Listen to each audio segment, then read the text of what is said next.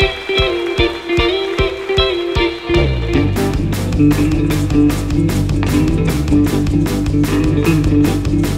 you.